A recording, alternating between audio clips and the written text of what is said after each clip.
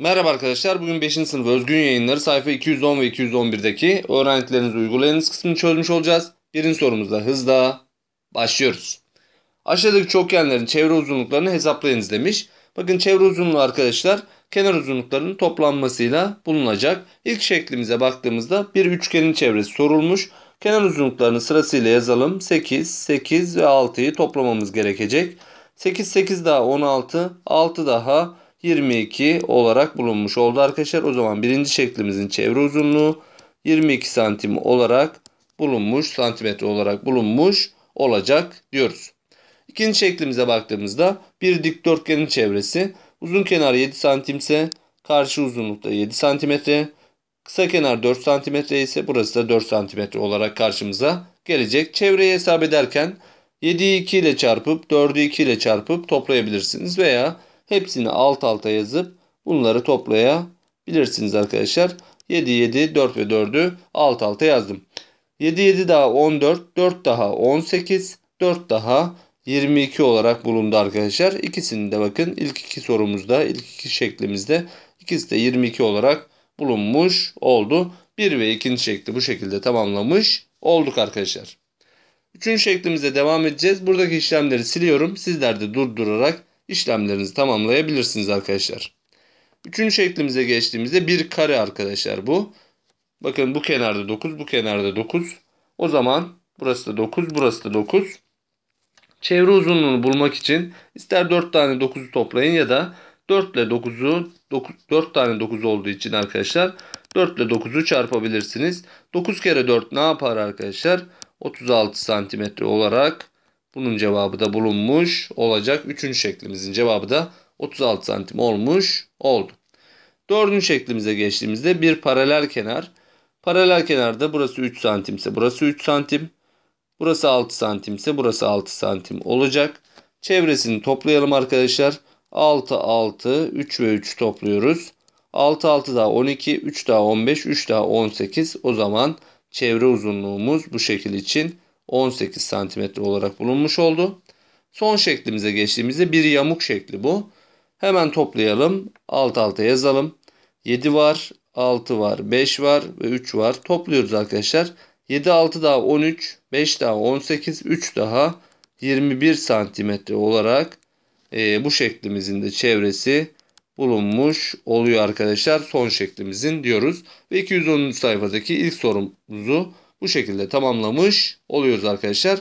211. sayfaya doğru ilerleyeceğiz. Buradaki işlemleri siliyoruz. Sizler de durdurarak tamamlayabilirsiniz diyoruz.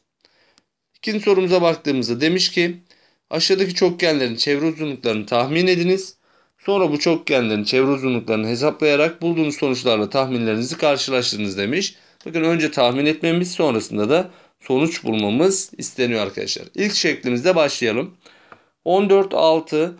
Bakın bunu 15 gibi düşünebilirsiniz arkadaşlar. Tahminde yuvarlayabilirsiniz yaklaşık değere doğru.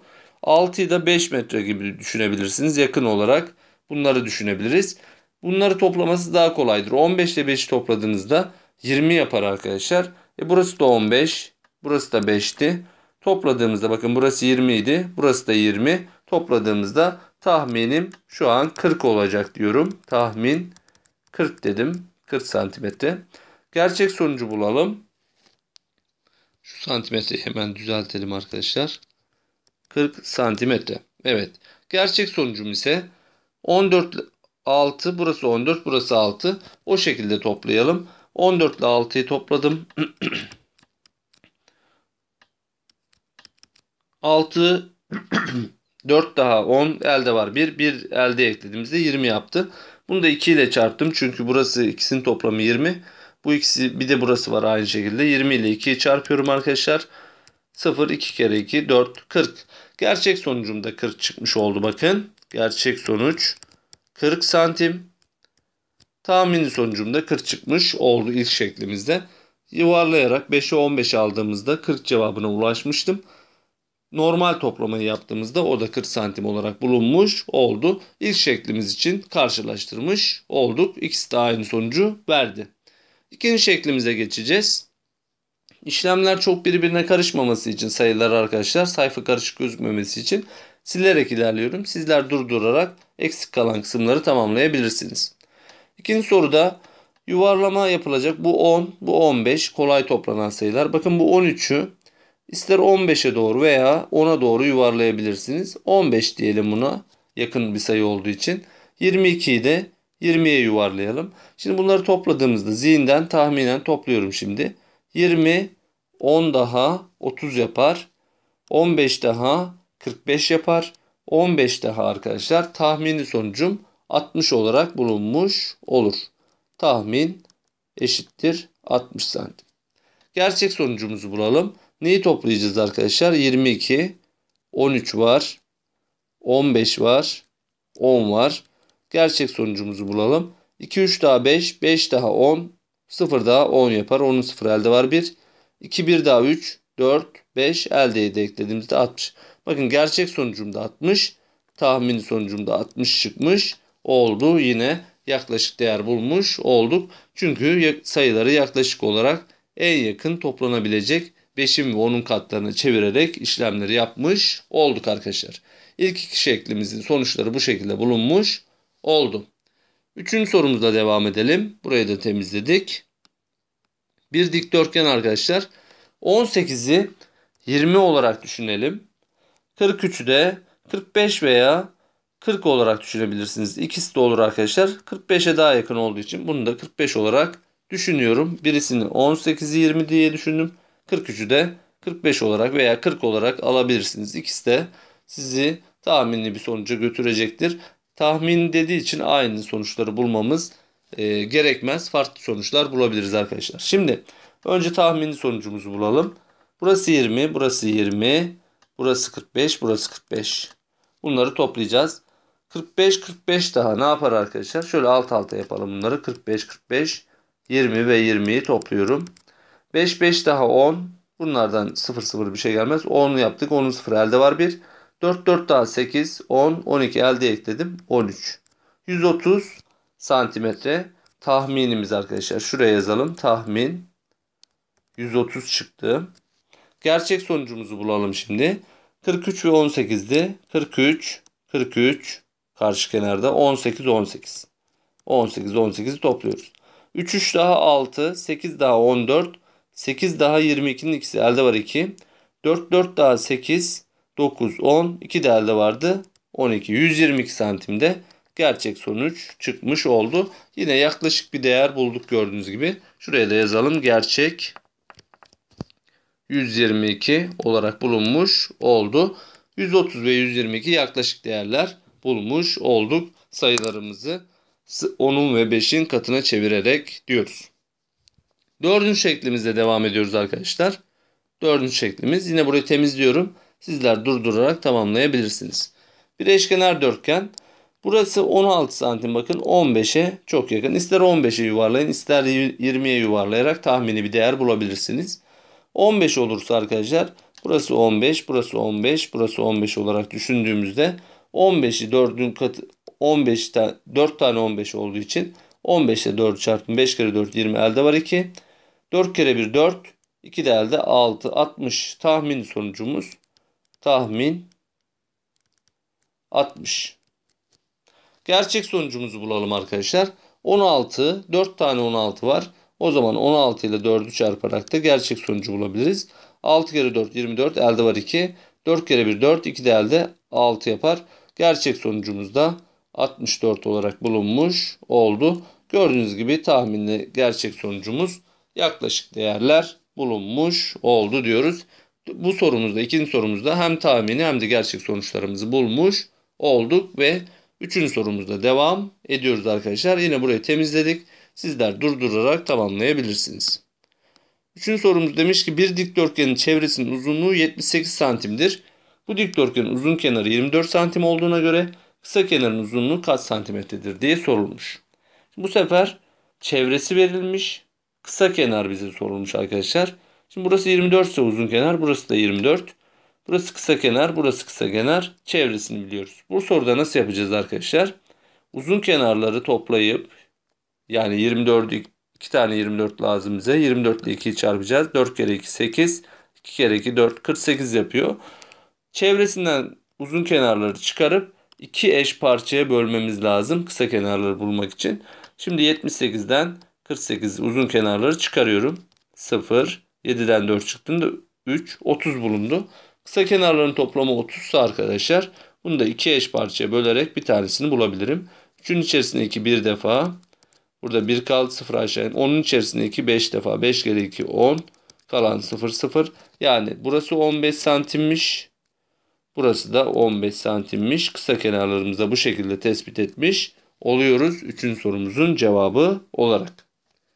Ve dördüncü sorumuzla devam ediyoruz arkadaşlar. Yine buradaki işlemleri temizledik. Sizler durdurarak tamamlayabilirsiniz. İkizkenar üçgen biçimindeki bir havuzun çevresinin uzunluğu 60 metredir.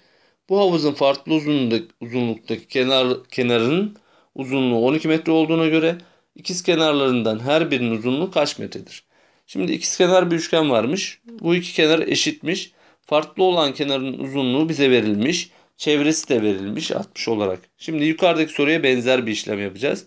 Önce çevresinden farklı uzunluğa sahip olan 12'yi çıkarmamız lazım. 60'dan 12'yi çıkarıyorum. 0'dan 2 çıkmaz. 10'dan 2 çıktı 8. Burada 5 kaldı. 5'ten 1 çıktı 4.